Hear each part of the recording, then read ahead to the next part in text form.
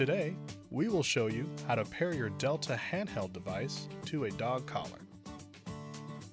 For this process, we will be using the Delta Sport XC and XC dog collar. Begin by powering on the Delta Sport XC by pressing the power button located on the left-hand side. Then power on the dog collar by pressing the button located between the two contact points. You will then have the option to choose the color for your dog.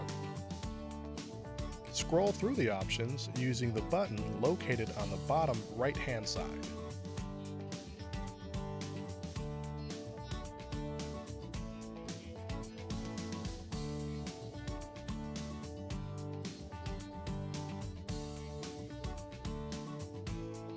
Next, select the intensity using the buttons located on the top right hand corner.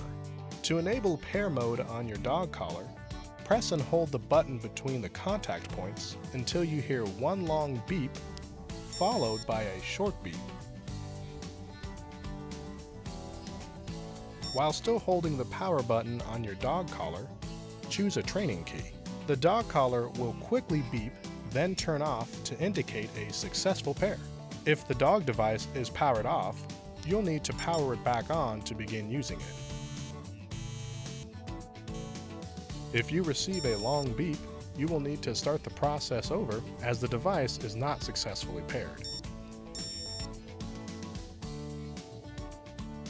Thanks for watching. For more help, go to support.garmin.com.